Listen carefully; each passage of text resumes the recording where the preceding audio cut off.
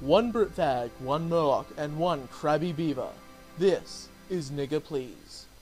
And this is the needlessly long gap between the start and the actual content. Sound familiar?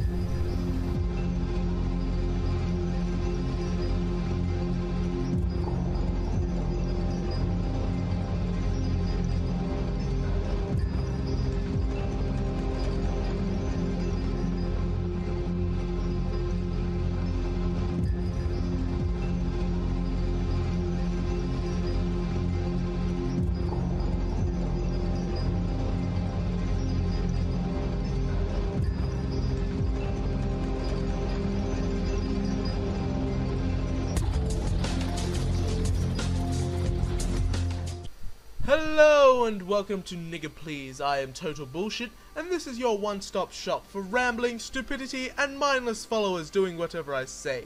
This week we'll be crashing MMO Champion by over-trafficking them and trying to send Kotaku out of business because they wrote an article about me in which they didn't put a space between cynical and shit, which is unforgivable and clearly written by a moronic entitled casual.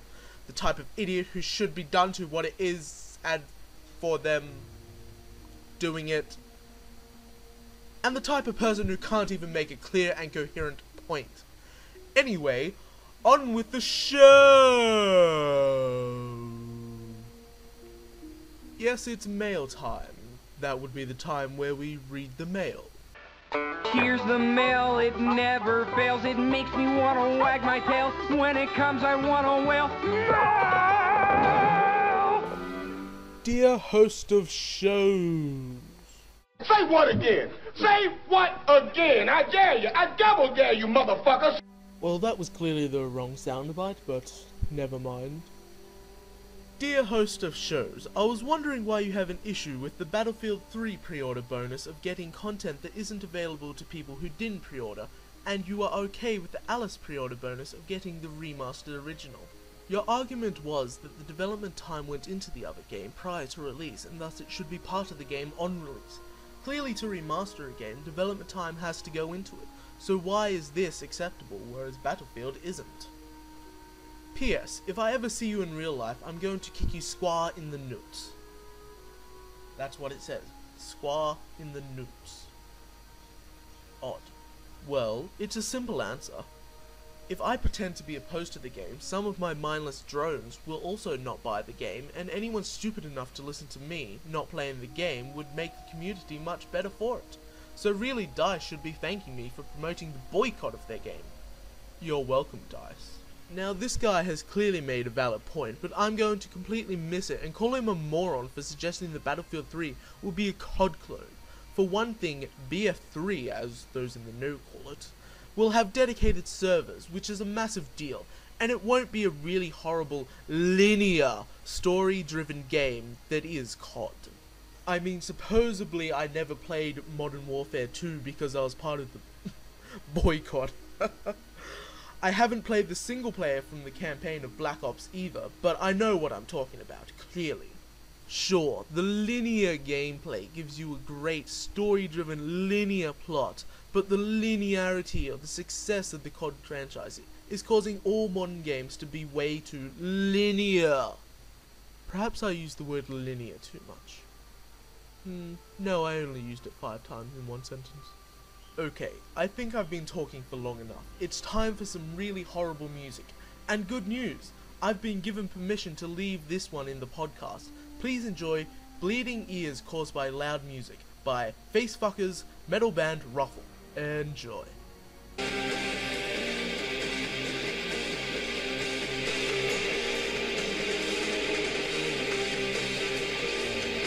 And we're back. Now, I'd like to talk about the recent 4.0.6 patch and how they're needlessly nerfing some heroic bosses. Let's pull up MMO Champion real fast and and I'm being told it's down. Good work, drones. Okay, let's see. Um, I've got them here somewhere. Okay. Uh. Fuck. Okay, here we go. Patch notes. Let's take, for example, da da da. Ah, Baron Ashbury from Shadowfang Keep. Let's see. damage done decreased by 15%, and having one of his abilities removed. Now, at the time that I made this stupid statement that's being parodied here, I didn't have a level 85. Hell, I didn't even have a level 81. But the content was easy in the beta. Sure, I had a pre-made character with a full item level 359 and overgeared it, which by the way, overgearing stuff makes it way too easy and I'm against overgearing content. But I thought this was an easy fight, and by nerfing it, Blizzard is only encouraging entitled casuals. There's nothing wrong with having three abilities that need to be interrupted, even though only 53% of the class spec combinations have interrupts, and so most groups wouldn't have enough to do the encounter. As for the damage reduction, this is a flat out nerf. There may be an ability that reduces every player's health to 1%, letting tanks often instantly be killed, but maybe instead of of nerfing it, the tank should just be better. If you can't get past a simple heroic boss, maybe you shouldn't say, Ugh, total bullshit, this fight is too hard. I demand the unbalanced fight be nerfed down to my level instead of me getting better. People like this should join a guild. And if you can't join a guild, maybe it's because nobody likes you and you're adopted. Try making your own guild. I mean, this only requires 9 people who like you. Don't have a guild, are willing to wait through 3 months before it ultimately fails. Or if you're lucky, manages to pug a healer, a tank, and a DPS, making it not technically a guild run, and then down one boss before someone rage quits. It's that easy! Anyway, in the meantime,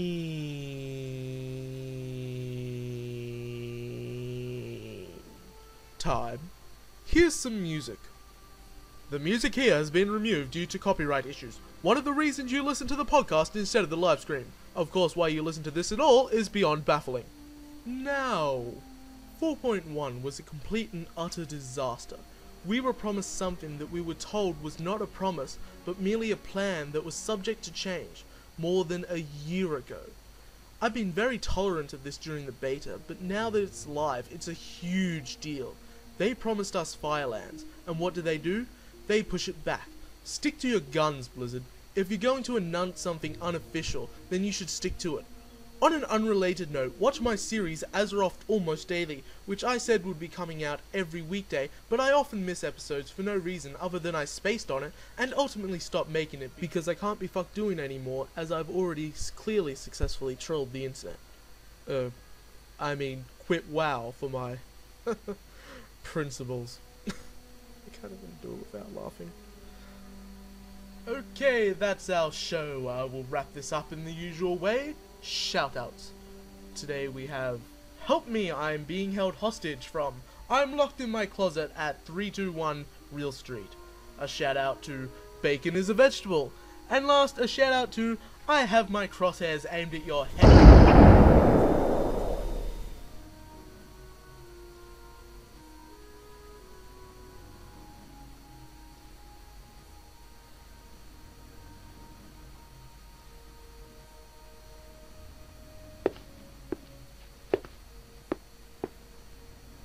Ryan Dunn, check.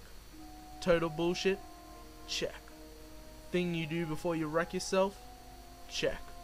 Justin Bieber, tomorrow. Rebecca Black, Friday.